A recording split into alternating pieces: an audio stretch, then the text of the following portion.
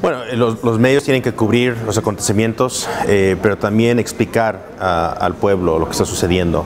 yo creo que entre más voces, mejor entre más herramientas, eh, mejor, eh, o, más medios más bien.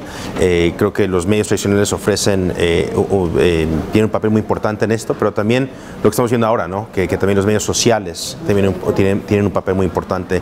Parte de lo que estamos viendo en Estados Unidos eh, es que más gente está acudiendo a los medios sociales para informarse. Así que los medios sociales para mí eh, son, parte de lo que estamos viendo en lo que es lo que entendemos como los medios, informando el pueblo de los acontecimientos, pero también eh, ayudando al, pueblo también tener un papel constructivo en, en influir el proceso político.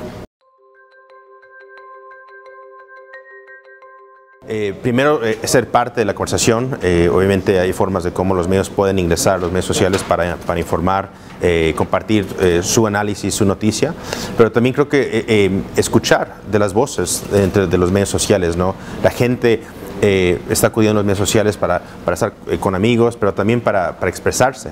Entonces creo que los medios de comunicación eh, pueden acudir a los medios sociales para, para, escuchar y ver lo que está pasando ahí. Eso lo estamos viendo en Estados Unidos y sé que también está pasando aquí y en otras partes del mundo.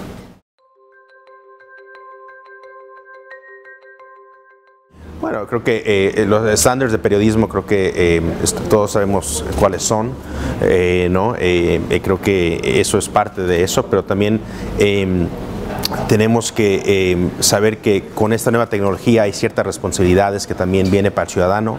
Eh, primero para, para para reconocer que como hay eh, muchos medios de noticias, que algunos no son confiables, eh, y también eh, ser respetuosos, ¿no? Y creo que es una de las cosas que, tristemente estamos viendo, que los medios sociales permiten que gente use palabras, use tono que no usaría en público general.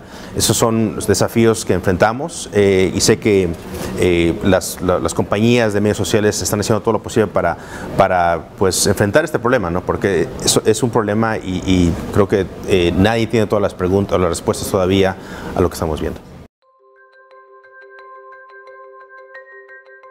Eh, eh, primero, los medios tradicionales tienen que reconocer que la gente está acudiendo a la noticia en la internet, tiene reconociendo que tiene que usar video, tiene que usar otras formas de atraer una audiencia que tal vez no está acostumbrada a leer un periódico tradicional. Así que yo creo que eh, los medios están entendiendo esto eh, y, yo tengo fe, yo tengo fe que, ellos van a, saber aprovechar eh, los cambios tecnológicos que estamos presenciando.